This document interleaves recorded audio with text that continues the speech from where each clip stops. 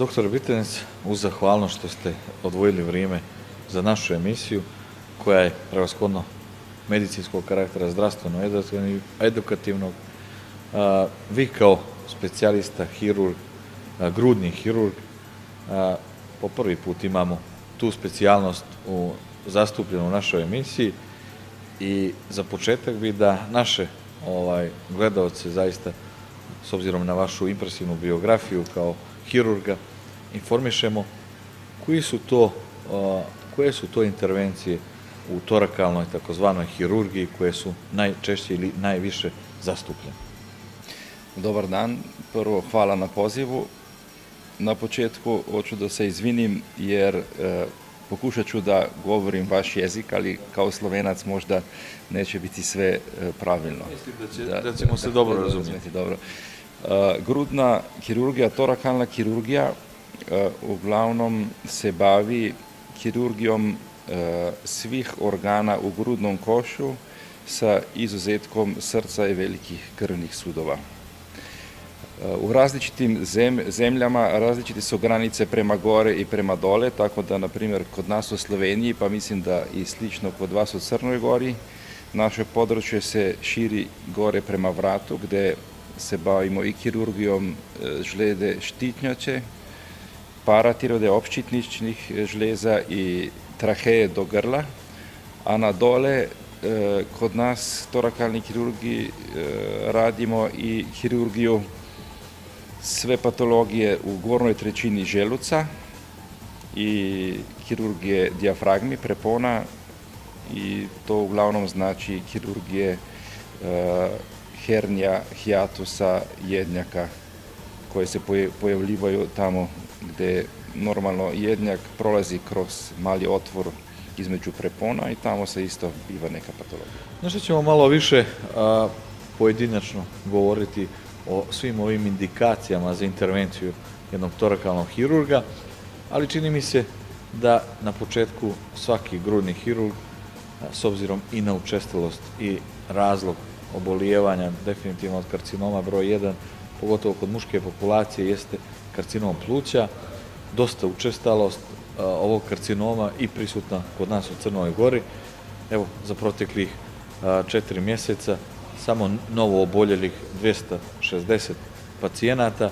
Dakle, nešto što je, možemo slobodno reći, zaista za brigu i za određene reakcije zdravstvenih sistema.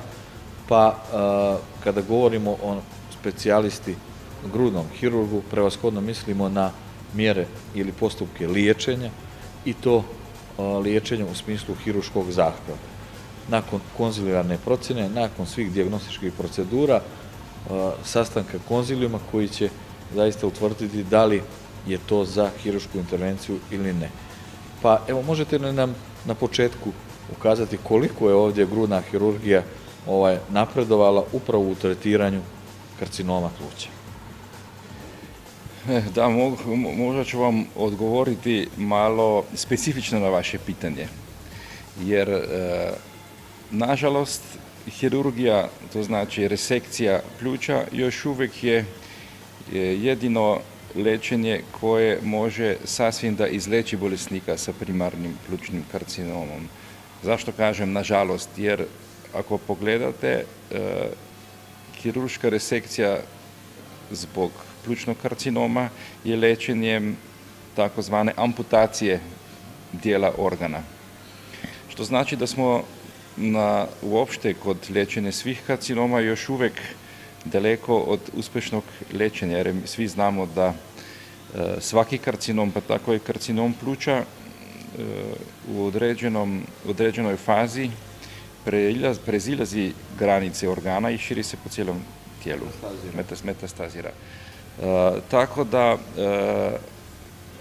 plućni rak leči se hirurgijom, a leči se i kemoterapijom i zračenjem, ali nažalost jedino kirurgija je ona koja može da e, sasvim izleči bolesnika. A granice su uglavnom e, najbitnija granica je u kakvoj fazi, u kakvom stadiju se dobije bolesnika sa plućnim karcinomom i nažalost još uvijek premali procenat bolesnika sa plućnim karcinomom uspijevamo da dijagnosticiramo, pronađemo u niskim stadijama gdje dolazi obzim kirurgija.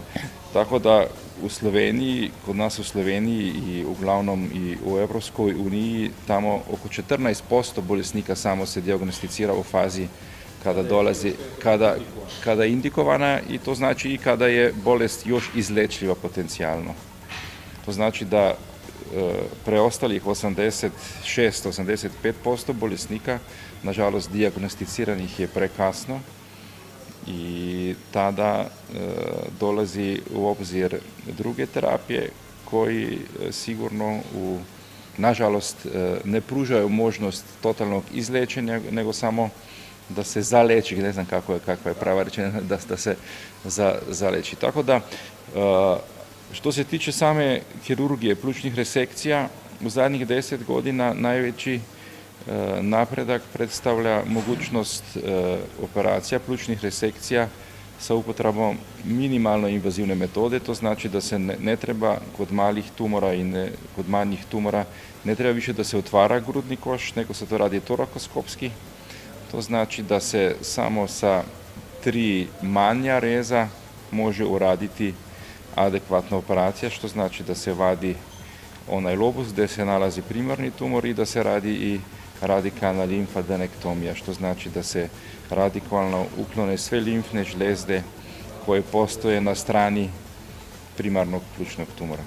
Kada govorimo već o tome, koliki je procenat ovaj, preživljavanja petogodišnjeg nakon intervencija hiruških, kada govorimo? Pa zna se da, e, da to u, prvoj stvari ovisi o tipu karcinoma, na primjer, ali tako kad kod uh, epidermoidnog pušačkog takozvanog karcinoma stadija 1 ili 2 koji je radikalno operisan.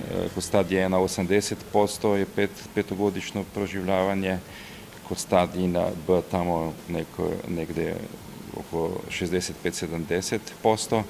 Kod adenokarcinoma, na primjer, istek stadija, to je niže, to je tamo između 40 i 60% posle pet godina. E, tako da najviše u prognozi znači biološki, to znači histološki tip tumora i stadij kod dijagnoze. Kad su e, obuhvaćene, obuhvaćeni limfni čvorovi N1, to se snizuje skoro na pola, a kad je N2 bolest, još se to snizuje. A u posljednjih godina znamo da kad se ove bolesnike sa N1 ili N2 E, definitivnim patološkim stadijom posle operacije i dopunjava kemoterapijom, onda se opet prognoza izboljšava. Gdje su e, granice jedne hirurgije ako govorimo o ovim elementima i ovim oboljenjima kojima smo govorili?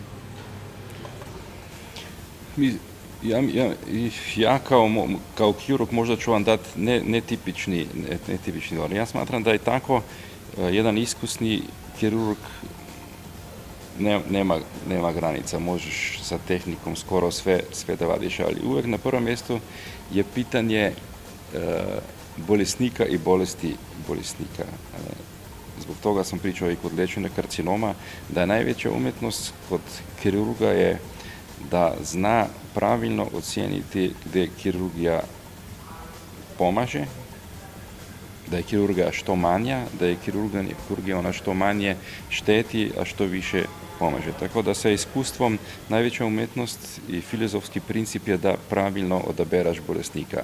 I to govorim i za bolesnike sa karcinomom, da znaš da je, da je karcinom, a ne karcinom je u stvari sistemska bolest gdje sa nekim mehanič, mehanističkim pogledom e, gdje misliš da će da sa vađenjem jednog dio e, pluća da će izlečiti bolesnika treba uvijek gledati biološkim pogledom. Isto gledam, na primjer, kod liječenju refluksne bolesti jednjaka.